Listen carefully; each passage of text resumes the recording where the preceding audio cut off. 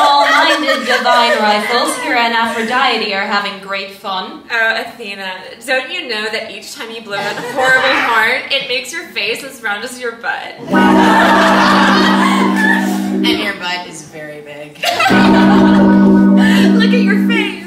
You look like an owl. You're a disgrace. Ooh, what a scowl. Swat. Nerd. Stuck up. Think you're better than us just because you're in charge? What's brains ever gonna get you? Yeah, nothing. You're not even in charge. I'm the one that knows how to get just what she wants from Zeus. Just takes a little know-how. Yeah. You just have to know what buttons to push, What mm-hmm. handle to hold. which lever to pull.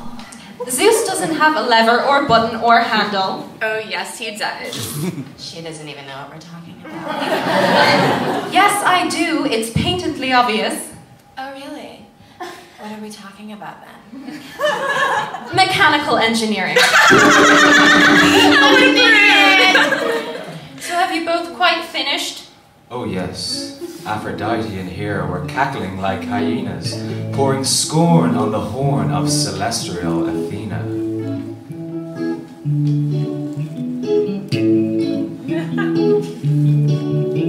We gods are fiercely fickle, we do just what we like. We seldom ever stop to think about the wrongs or rights. Capricious coquettes, we have no regrets. And of course, no remorse for the lives we